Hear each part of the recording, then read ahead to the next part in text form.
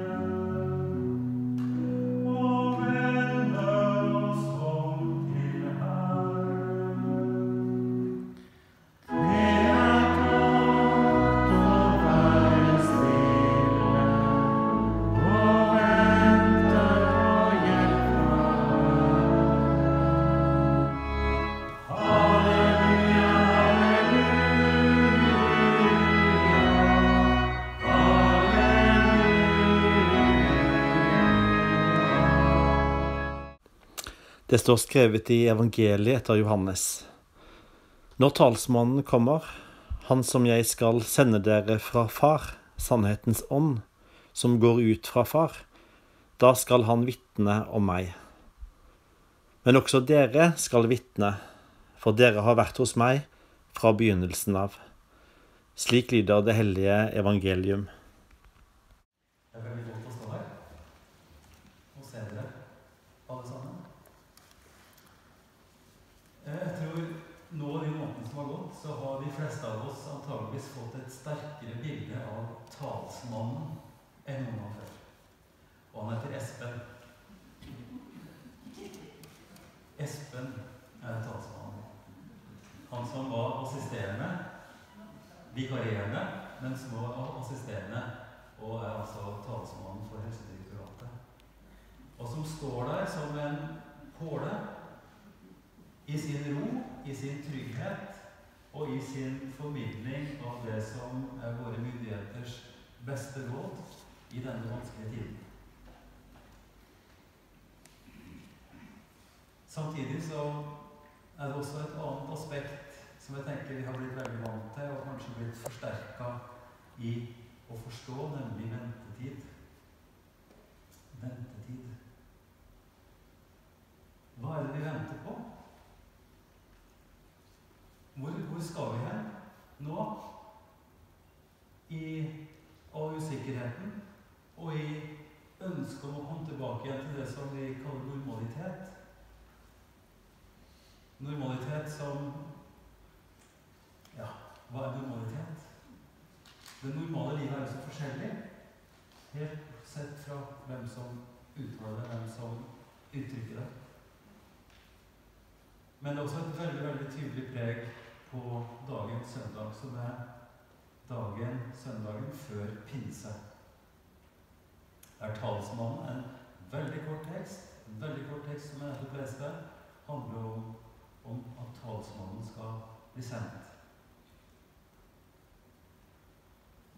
Men også de to andre tekstene handler om ventetid, om håp og om desperasjon, kanskje til og med. Profeten Hagai, som, som virker i, i Juda, tror man, på 500-tallet før Kristus, når folket har kommet tilbake igjen fra fangenskapet i Babylon, når det forferdelige skjedde at de ble bortført, og så fikk de være i Babylon, og der ble de for så vidt tatt godt vare på. Og profeten sa at dere må slå rot der, dere må gifte dere, dere må få barn. Dere skal bli store og sterke, for dere skal komme tilbake igjen en gang. Nå har de kommet tilbake, men tempelet lå i ruiner. Ingenting var som før. Haggai prøver å sette mot i folket og si at Gud skal gjøre det. Dere skal få tempelet bygd opp igjen, og det skal bli normale tider igjen. For 2500 år siden. Og første Peters brev det er også en, en, dramatisk tekst fordi den handler om at eh, vi vet ikke hvor lenge vi skal være her. Alle tings ende er snart her. De første kristne var veldig tydelige på det, at, at, verden, at, at verden kom ikke til å være veldig lenge, og at Kristus skulle komme tilbake kanskje enda i den tid de levde. Ventetid, usikkerhetstid, håpstid. Alt dette har vi fått inn i kroppen nå kanskje på en helt annen måte, og fått en forståelse for, og fått en erfaring av mer enn før. Men hver av oss lever jo i en ventetid, i en undring, i en kanskje også en angst. Hva skjer med sykdommen min? Skal jeg bli frisk igjen? Hvordan går det med barna våre? Hvordan går det med arbeidsplassene? Hvordan skal det hele tatt bli med oss? Alt dette har blitt mye sterkere og mye mer påtrengende enn før. Og kirkeåret, som vi definerer våre søndager etter, der er vi også inne i en ventetid. En veldig spesiell tid. For ikke bare er det karantene. Dere vet helt sikkert at karantene handler om 40, 40 dager. Og den første karantenen, som ble kjent for så vidt, så den skjedde rett etter svartedauden hvor bystaten Venezia lukka opp eh, havna og sa at alle skip måtte være ute på reden i 40 dager før de kunne slippe inn. Karantene. Vi har markert 40-dagersdagen for vår karantene. Og allerede på Wikipedia så står det at den største karantenen noensinne, den lever midt i. At hele verdens egenhet, det har vi aldri sett før. Aldri sett før. 40. 40 dager fra Jesus dør på korset, til Kristi himmelfartsdag. 40. Kristi himmelfartsdag, som vi hadde nå, og fram til pinsedag, til Den hellige ånds gjenkomst, det er ti dager. Så Pentecost 50 fra Kristus på korset og til, til pinsedagen. Og i denne dagen, denne tida som vi er inne i nå, det er også en, en ventetid for Maria og disiplene. De har tatt avskjed med Jesus, og så venter de på at noe skal skje. De har ligget veldig lavt før, veldig usikre etter Jesu oppstandelse, men han har vist seg for dem flere ganger. Men nå har han gått opp til far, og så venter de på hva som skal skje. I denne tidagers, nidagers perioden. Og vi som kirke, som kristen kirke, er i denne samme ventetiden mellom Kristi oppstandelse, himmelfart, og Den hellige ånds komme. Og der befinner vi oss nå. For det er aldri sånn i kirka at vi snakker om jubileer eller ser tilbake igjen som en slags minnedag. For kirkeåret og vår kristne kirke er basert på at Guds rikes tid er nå. Så vi lever i disse tidene når vi er kirka og vi feirer gudstjeneste. Så nå er vi i ventetid. Nå er vi i ventetiden mellom oppstandelsen, himmelfarten, og så pinsedagen. Og der har vi også fått løftet om en talsmann. Og Jesus er jo den første talsmannen. Det kan vi lese om i et tidligere kapittel i Johannes-evangeliet. At Jesus er Guds talsmann, er Gud, Guds sønn og Gud i verden. Men når han forlater verden og går til Faderen, hva skjer da? Jo, da sier Jesus at det skal be Faderen om å sende en annen talsmann. Og det er Den hellige ånds gave. Det er Den hellige ånd som da flyter ut og fyller disiplene med kraft og med mot. Noe som de faktisk har savna sårt lenge. De var slått til jorda, de var sjokkerte og de var redde da Jesus ble korsfesta. Og de forsto ikke stort av det som skjedde etterpå. Men så hadde de fått glimt, og så hadde de sett noe. Og så håpa de på noe, og så begynte de å se Skriftene. Og nå hadde Jesus sagt at de skulle få en annen talsmann. De satt altså i øvre salen, de satt sammen med Maria og brødrene og søstrene og venta på at dette skulle skje. Hva skulle skje? Og hva skal skje? Hva skal skje? Hva skal skje med oss? Hva skal skje med Kirka? Hva skal skje med Norge? Hva skal skje med arbeidsplassene?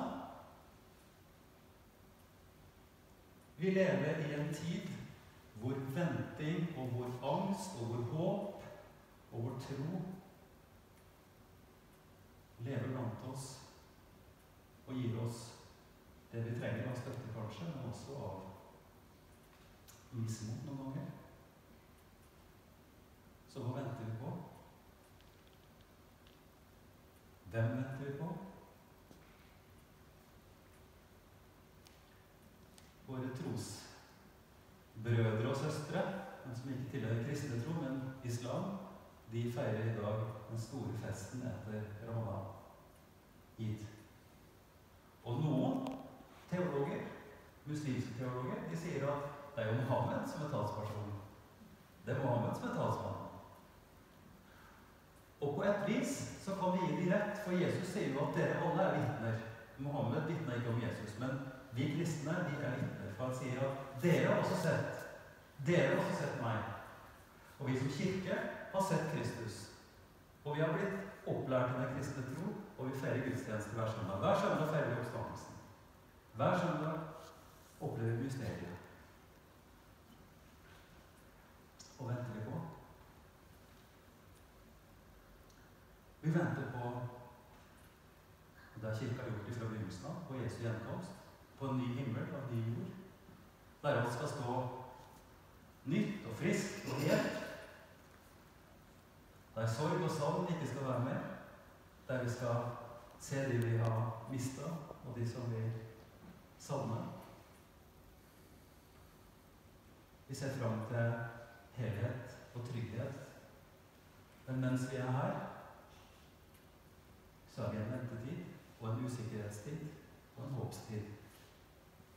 Og vi som kristne, vi som trossøsken, vi som venner her, vi skal gjøre sånn som Peter formaner oss.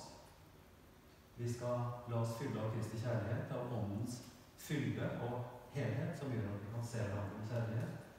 For det står kjærligheten kan dekke en mengde synder. For sånn er det. Vi trenger all den kjærligheten vi kan få, og den tilgivelse vi kan få, som vi får av Kristus, men som vi også kan få av hverandre. For å få mot til å møte dagen, for å få mot til å møte all usikkerhet, for å kunne stå i det så lenge vi har livet, og så lenge vi har hverandre. Og så venter vi på pinse. Vi venter på kraft fra det høye. Samtidig så vet vi at vi har det. Den hellige ånd var til stede allerede ved skapelsen. Vi tror på en treenig Gud. Kristus var til stede ved skapelsen. Og det betyr at alt det skapte, av alle mennesker, alt vi har rundt oss, er full av livskraften som er gitt av Gud. Nå skal vi se hverandre, og vi skal se på alt med den ærefrykt og med den takknemlighet som består i at Gud har gitt oss alt dette. Så la oss vente i troskap og be om kjærlighet nok til å klare dagene, og til å tåle hverandre, og til å tåle de pålegg som blir oss pålagt i disse dagene hvor usikkerheten er stor. Så ser vi fram til pinsen og til de kreftene som vi har, og som vi skal få, og som vi skal få påfyll av hver eneste dag.